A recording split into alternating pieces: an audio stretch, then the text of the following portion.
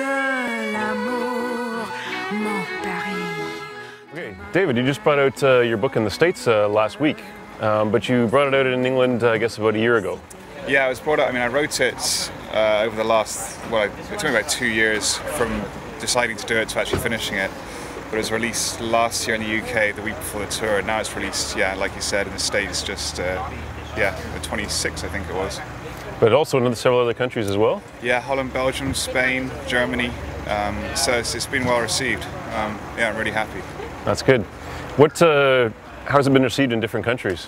Uh, it's quite strange actually. I mean, I, I, I, kind of each country picks out what it likes about it. In, in the UK, it was very much uh, they, they, have got a culture of sporting biography, so fascinated by the kind of the sportsman and the, the intricacies of the sportsman's life. And but in Spain, I noticed I was doing loads of interviews in, in uh, the Spanish launch two weeks ago, and they were very much more interested in the human story, the kind of the the fall and rise. Um, I think they, especially in the crisis-ridden Spain, they liked that element of the kind of the human condition, the, the failure and picking yourself back up and rebuilding your life. And, uh, and then in Belgium, they just like the Van den anecdotes. So, so a, yeah, each place has its own little thing. That's very good.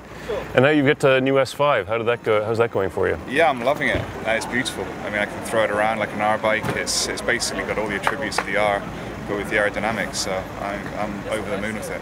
Perfect.